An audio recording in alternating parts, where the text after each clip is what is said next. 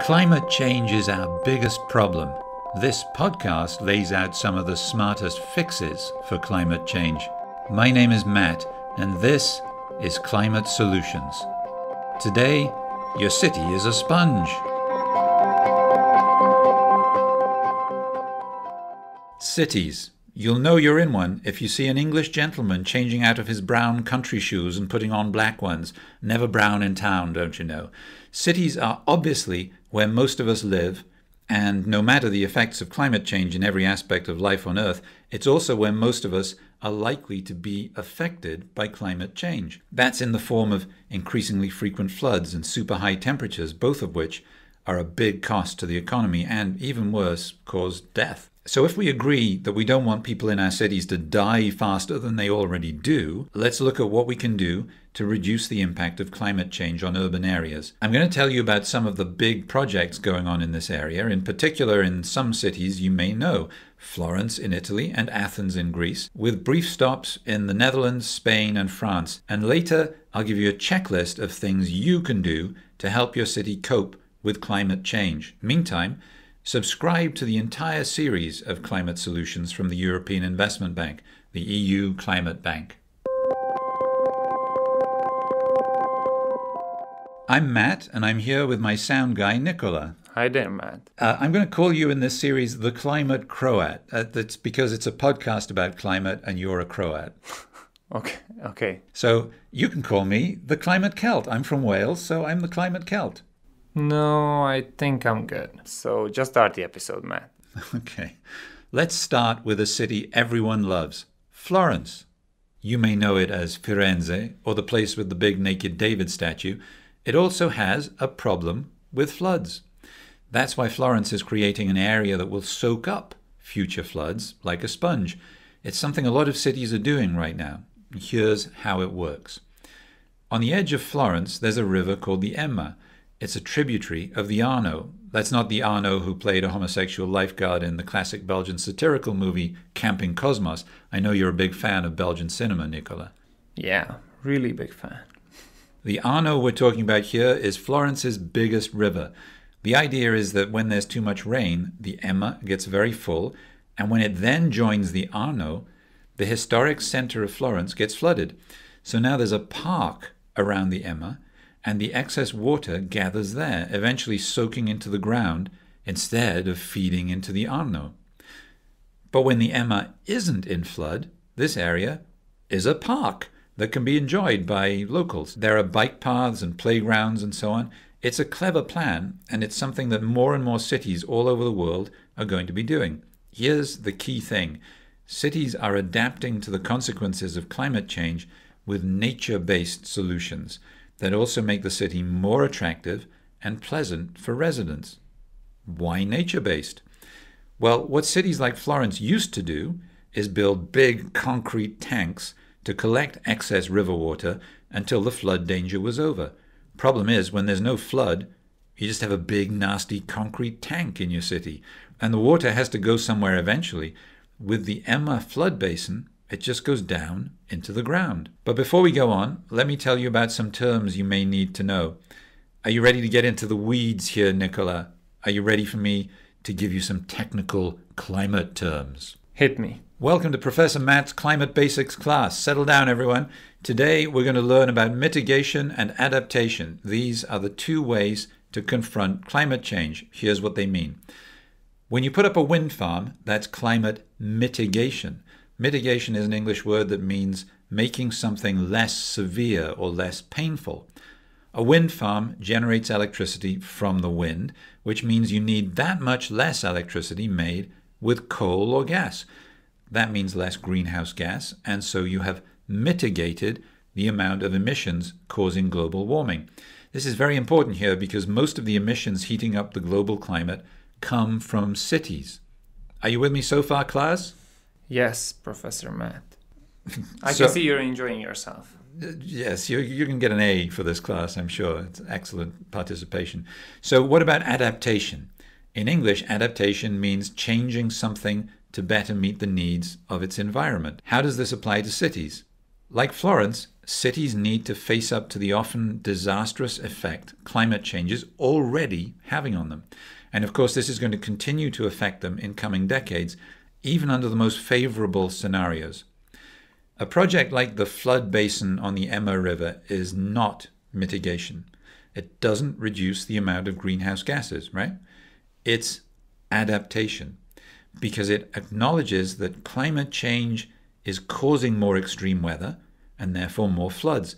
Florence adapts to this flooding with a project that guards against the adverse effects of the weather. That's adaptation. So, this adaptation to climate change is important in cities because of the economic and social consequences of floods or extreme heat waves on unprepared populations. None of this is easy. Every mayor knows that their city has to adapt and is developing a climate strategy, but financing adaptation and making it happen is a challenge. Stay with Climate Solutions, and I'm going to tell you more about this. I'm also going to explain what is green blue infrastructure. So, the European Investment Bank, the EU's climate bank, worked with the City of Florence to define its climate strategy. It also helped figure out how to finance those climate projects. How? First, by recruiting a consultant to work with the Florence municipality to improve its flood protection scheme. This study aimed to create new green blue infrastructure on the Ema. What is green blue infrastructure? Green blue infrastructure is a city planning term that means incorporating natural landscapes into public spaces, that's the green part, and combining them with good water management, blue. On the Ema, the green blue infrastructure was designed to reduce heat island effects. We're going to get into heat island effects a little bit later in this episode. To improve the Ema's water quality, to improve sustainable mobility with bicycle paths connecting local towns and cultural sites, to reduce water pollution, to provide alternative water resources in case of shortages, and to increase biodiversity. That's a pretty good list, I'd say. Florence's adaptation project is a good one. Like most adaptation measures, it's pretty cheap compared to a lot of the things cities need to build and maintain, but it required a lot of thinking because each city's adaptation solution is unique. Cities need to bring in an expert to suggest tailor made solutions. That's the difficulty of adaptation. There are a lot of things that can be done, but it's hard to identify the most cost effective and the most suitable solution in any case because the climate risks and vulnerabilities are unique for each project. How unique is each adaptation project? Some things apply everywhere, of course. If there's a risk of floods, one common adaptation practice is to put heating and air conditioning machinery on the roof instead of in the basement, where it can be inundated by water. But when it comes to the design of public infrastructure, things become more complicated. In conversation with some of the experts at the European Investment Bank, I collected a few unique examples from around Europe. Here's my list of four cool climate adaptation projects. You like the cool thing there, Nicola? Very cool word playing, man. Good. Number four, Malaga, southern Spain. Growing grass or trees there is a challenge because of low rainfall and because it's hot. But the city wanted people to be able to go out even in the hot times of day. So the municipality put up large parasols in pedestrian areas. The result? People go out even in the sunshine, which is good for business, tourism, and social life. Cool climate adaptation project number three. Barcelona saved a lot on climate adaptation measures for social housing projects just by placing the buildings so that the breeze would ventilate them instead of using energy to air condition them. Next up, Paris, with Cool Climate Adaptation Project number two. In Paris, the city wanted to introduce measures to improve air quality. But they figured that if people were told the measures were related to climate and emissions, lots of Parisians might not be in favor. So they pitched the measures as a matter of health instead. And that made them popular, even with people who would have been unwilling to accept them just for the sake of climate action. Okay, so my top pick is a very simple one, but I love it for that reason. Cool Climate Adaptation Project coming in at number one, Rotterdam. the big Dutch port city is removing paved areas. Water doesn't go through concrete, so if you have a lot of concrete in city squares and so on, the rain doesn't drain away fast enough. Rotterdam is replacing concrete with sand, soil, and plants. The aim, as we said earlier, is to use the city as a sponge, and they also retain the water for other uses. An urban heat island is a city area that gets much hotter than nearby country areas. That's because the heat of the sun is retained by buildings, roads, and other built surfaces. A lot of energy also gets used in the city, and that contributes to higher temperatures too. Athens is a good example of a city with a lot of concrete and a lot of heat. It's also a good example of a city that has really developed a good climate change adaptation plan. Athens is made up of dense constructions that cover 80% of the city's surface. All that asphalt and concrete retains heat during the extended heat waves to which the city is increasingly exposed. These urban heat islands in the city center can be more than 10 degrees Celsius warmer than the suburbs. So, asphalt and concrete are a liability when the weather's hot. If you think about what I said earlier about Rotterdam, asphalt and concrete also stop water seeping away into the ground during rainstorms. The result frequent flash floods. Can you say that very fast, Nicola? Frequent flash floods? Easy peasy. Frequent flash floods. See? You want to try something in Croatian? Want to say Ribari Grizereb? By the beard of Ivan Rakitic, don't test my Croatian, brate. Back to Athens. How is the city tackling its climate change problems? Well, Athens is entering into a set of innovative climate adaptation projects financed by something called the Natural Capital Finance Facility. That's a program run by the European Investment Bank in cooperation with the European Commission.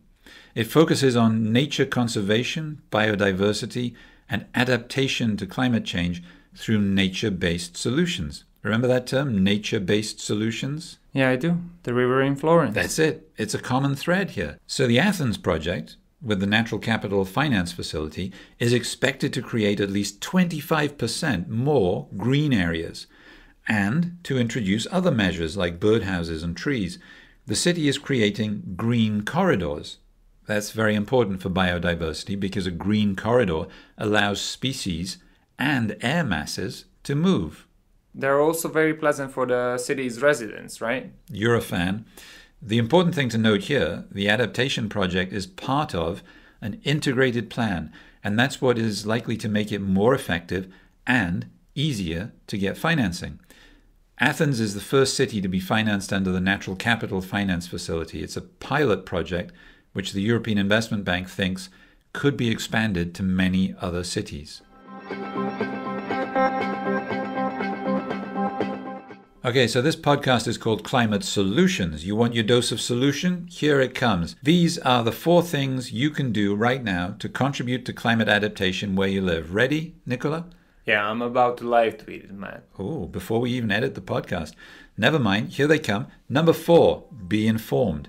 Well, you've just heard this podcast, so top marks to you guys, but keep up with developments in climate adaptation. You can follow me at EIBMATT, E-I-B-M-A-T-T, on Twitter, or you can subscribe to the other episodes in this podcast on iTunes, Spotify, everywhere else. You can also read about climate adaptation if you go to our blog. Type eib.org forward slash blog, B-L-O-G. Number three, ask questions about the impact of climate change on your city. Is it a health impact because heat waves send people to the hospital? Is it an economic impact from frequent floods that destroy the stores in your basement? Number two, push local authorities, that might be your city or town government, but it could be other bodies like water authorities, push them to make adaptation key to their city plans. Write letters, attend meetings. And what are you going to want them to do? Real nuts and bolts stuff now. That's why this comes in at number one. Number one thing you can do right now to contribute to climate adaptation where you live make sure that climate adaptation is part of your city or town's urban development master plan. Once it's part of general planning, it's much easier to get individual projects started because they can be seen to help reach the bigger goal. If your city doesn't seem interested, make sure they understand that adaptation is not an issue that will just make you look like you're taking climate change seriously. In fact, it has an economic impact and a social impact on the quality of life of the citizens. Okay, that's our episode. For the research, I want to thank European Investment Bank urban specialists Leonor Berriochoa and Julia Macagno, and Stephen Hart, Vasco Ferreira Costa, and Martin Berg, who work on the Natural Capital Financing Facility. Subscribe to Climate Solutions, and you'll learn what you should do to fight climate change in the oceans, on the road, in your home, and even on your digital devices. And right now, go and use the tips in this episode to start saving the climate and listen to our other episodes to do the job right. I'll be back with Nicola the Climate Croat Bye bye. next time on Climate Solutions from the European Investment Bank, the EU Climate Bank.